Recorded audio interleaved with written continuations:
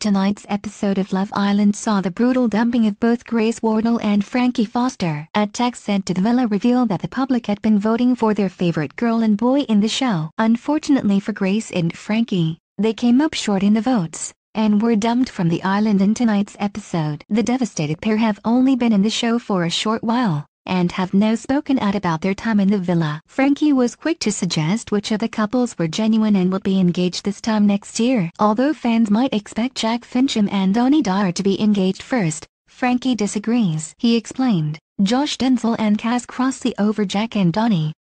Jack and Dani are very sweet but I've seen Josh and Kaz very intense as it's so new.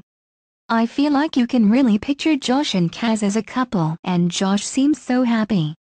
Josh's relationship with Kazimir follows his dumping of Georgia Steele who did not take it well. Josh re-entered the villa with Kazimir to announce that he was jumping into a relationship with her and was dumping Georgia. And after Georgia heard the news, she was visibly distressed, as she announced, he's F-catted man, he's F-catted. Frankie went on to announce that he feels Georgia hasn't been completely genuine.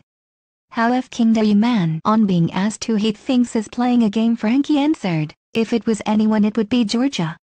All her emotions are multiplied by three. If she feels something a little bit, she'll turn it into feeling something a lot. Since her relationship with Josh ended Georgia has been coupled with Sam Bird. You never know what she's thinking, he added. But will Georgia's new relationship remain intact as two new men enter the villa this evening?